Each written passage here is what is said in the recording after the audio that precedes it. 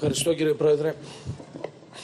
Θέλω ε, προκαταβολικά να πω ότι η κοινοβουλευτική ομάδα του ΣΥΡΙΖΑ και ο ΣΥΡΙΖΑ γενικώς δεν είναι υπέρ της ε, πλειοδοσίας σε ό,τι αφορά ζητήματα συνταγματικής τάξης. Ε, ούτως ή άλλως, τον τελικό λόγο ε, σε, στα ζητήματα που σχετίζονται με τη συνταγματικότητα ή την αντισυνταγματικότητα των πράξεων της διοίκησης τον έχουν ως γνωστόν τα ελληνικά δικαστήρια. Σε κάθε περίπτωση νομίζω όμως ότι οι περιπτώσεις τις οποίες σήμερα συζητάμε και τα ζητήματα τα οποία σήμερα συζητάμε είναι ε, εξαιρετικά μεγάλης ε, σημασίας ενώ κατά τη γνώμη μας οι παραβιάσεις του συντάγματος ε, είναι εξόφθαλμες, έχουν επισημανθεί καθ' όλη τη διάρκεια των συζητήσεων στις Επιτροπές και γι' αυτό το λόγο θεωρούμε επιβεβλημένη την κατάθεση της ένστασης αντισυνταγματικότητας έτσι ώστε να γίνει και η απαραίτητη συζήτηση στο στην Ολομέλεια. Σε σχέση με το πρώτο τμήμα του νομοσχεδίου που όπως γνωρίζετε αφορά την ε, εκ των μεταρρύθμιση ε, της δημοκρατικής τομής του Κλεισθένη. Καταθέσαμε ένσταση αντισυνταγματικότητας σε σχέση με το άρθρο 1 του νομοσχεδίου το οποίο ορίζει τους όρους σύμπραξης των παρατάξεων στα δημοτικά και περιφερειακά συμβούλια σε σχέση με το άρθρο 2 το οποίο ε, ρυθμίζει τους όρους συγκρότησης των οικονομικών επιτροπών και των επιτροπών ποιότητας ζωής και στο άρθρο 3 το οποίο μεταφέρει αρμοδιότητες στην Οικονομική Επιτροπή και, στις, και στην Επιτροπή Ποιότητας Ζωής κατά περίπτωση, ε, κατά τη γνώμη μας, κατά παράβαση του συντάγματος. Θέλω να πω πολύ λίγα λόγια σε σχέση με αυτά τα ε, ζητήματα. Το κύριο επιχείρημα εδώ και σε όσους έχουν ε, προηγουμένως κατά τη διάρκεια της συζήτησης των Επιτροπών πει ότι όλα αυτά τα ζητήματα τα έχει τάμει το ανώτατο δικαστήριο, το ανώτατο διοικητικό δικαστήριο, το Συμβούλιο της Επικρατείας και έχει δώσει τελικές λύσεις, οφείλουμε να απαντήσουμε στο ότι ουδέποτε το ανώτατο δικαστήριο κλήθηκε να κριθεί, ε, να κρίνει μάλλον επί ε, μεταρρύθμισης η οποία στην πραγματικότητα ερχόταν να ανατρέψει τον βασικό νόμο στη βάση του οποίου διενεργήθηκαν οι εκλογές. Και εδώ αυτό νομίζω ότι είναι το κεντρικό ε, συνταγματικό αν θέλετε επιχείρημα που πατάει στα πραγματικά δεδομένα και υπάγει την παρούσα περίπτωση στις συγκεκριμένες συνταγματικές διατάξεις οι οποίες παραβιάζονται. Δηλαδή, ο κύριος λόγος αντισυνταγματικότητας του νομοσχεδίου δεν έχει να κάνει με το γεγονός ότι η κυβέρνηση επιλέγει τον Α αντί τον Β τρόπο για να οργανώσει τις δομές της αυτοδιοίκησης. Αυτό είναι μια δυνατότητα την οποία έχει η κάθε κυβέρνηση και για την οποία κρίνεται πολιτικά κάθε φορά. Και αυτό πράγματι το Συμβούλιο της Επικρατείας το έχει αναγνωρίσει με συγκεκριμένες αποφάσεις. Εδώ δεν έχουμε να κάνουμε με αυτό, έχουμε να κάνουμε με κάτι άλλο.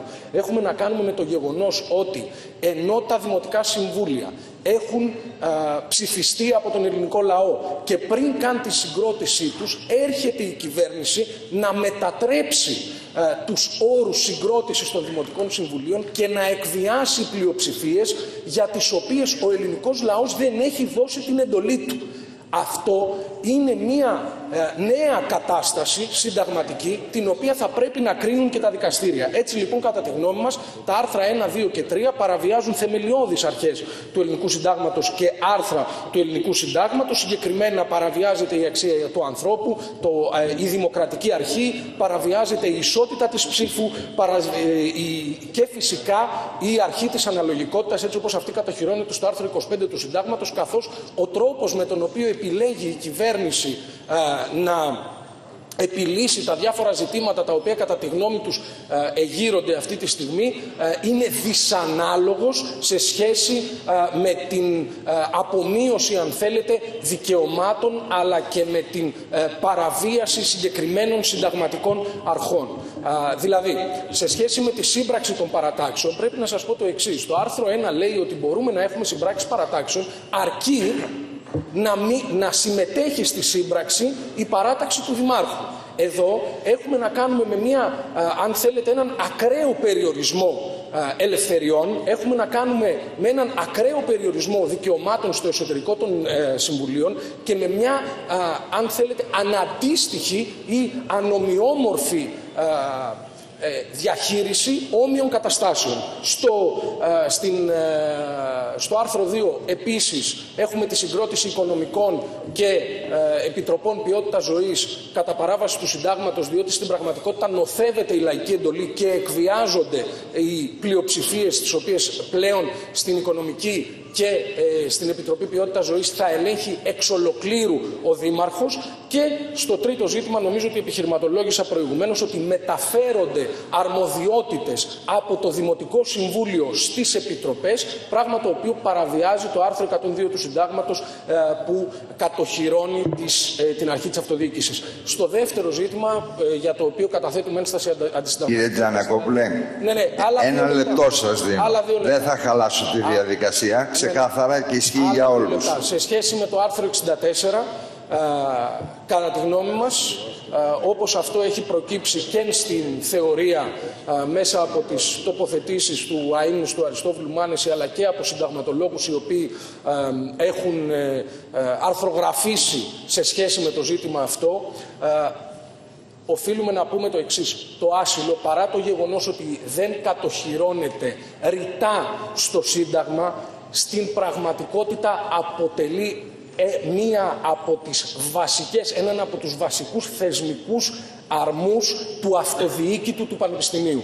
Και είναι ακριβώς για αυτόν τον λόγο που η κάθε κυβέρνηση μπορεί, αν θέλει, και επίσης γι' αυτό κρίνεται πολιτικά, να ορίζει συγκεκριμένους περιορισμούς ή να ορίζει συγκεκριμένους όρους εντός των οποίων θα ρυθμίζεται το πανεπιστημιακό άσυλο, δεν μπορεί όμως σε καμία περίπτωση να το καταργεί εξ ολοκλήρου και αυτό, κατά τη γνώμη μας, συνιστά παραβίαση του άρθρου 16 του Συντάγματος.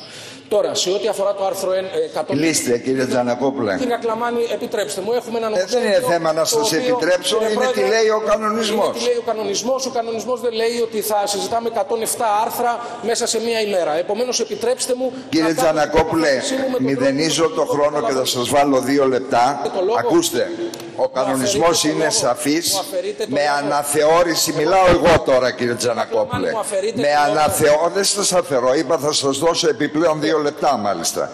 Με αναθεώρηση μάλιστα πρόσφατη του άρθρου 100 και είναι τελείως ξεκάθαρο και δεν θέλω να καθίσω να μετρήσω πόσα επίγοντα και κατεπήγοντα νομοσχέδια ήρθαν την προηγούμενη κοινοβουλευτική περίοδο. Λοιπόν, σας παρακαλώ πολύ, δεν θα ξεχυλώσουμε τη διαδικασία. Ωραία.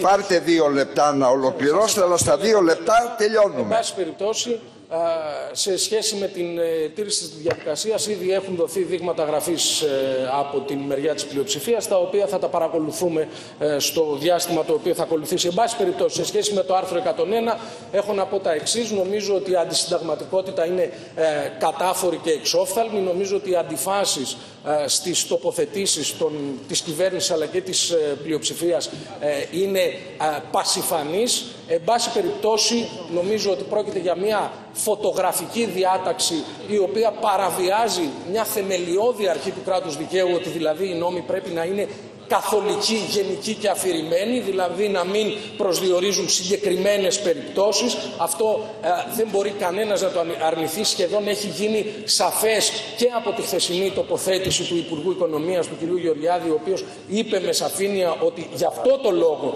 κατεβάζουν ε, τη διάταξη, δηλαδή για να αλλάξει η πρόεδρος της Επιτροπής Ανταγωνισμού. Αυτό είναι ομολογημένο. Το δεύτερο ζήτημα έχουμε να κάνουμε με παραβίαση θεμελιωδών αρχών επίσης του συντάγματος όπως είναι η αρχή της αναλογικότητας, η αρχή ε, της... Ε, της, και η αρχή της ανεξαρτησίας των ανεξάρτητων αρχών, όμως θέλω να πω και κάτι παραπάνω. Η συγκεκριμένη ρύθμιση παραβιάζει ευθέως και το ενωσιακό δίκαιο.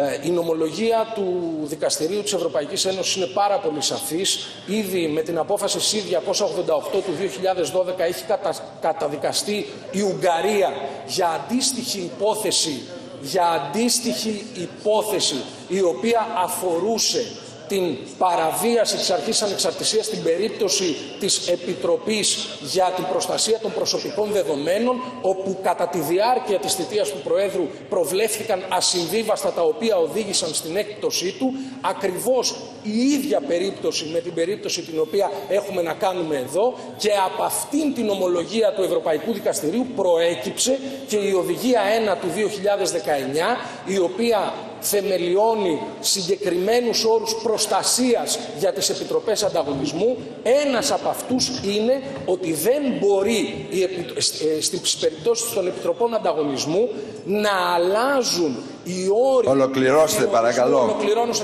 15 δευτερόλεπτα. Οι όροι διορισμού των αρχών... Ηρεμία, στα ορεινά ηρεμία της ηγεσία των επικεφαλής των αρχών αυτών κατά τη διάρκεια της, της θητείας τους και αντίθετα Ωραία. Ευχαριστώ πολύ. διάταξη. Σας ευχαριστώ πάρα πολύ. Και